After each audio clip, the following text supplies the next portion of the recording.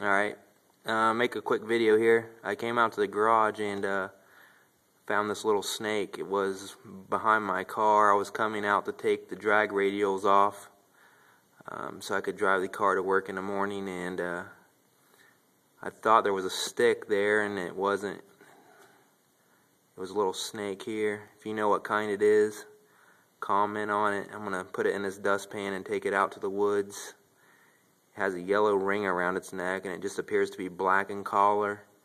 Might be about 12 inches long. Uh, probably not any longer than that, maybe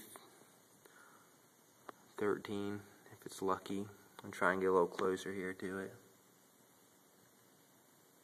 Thanks for watching.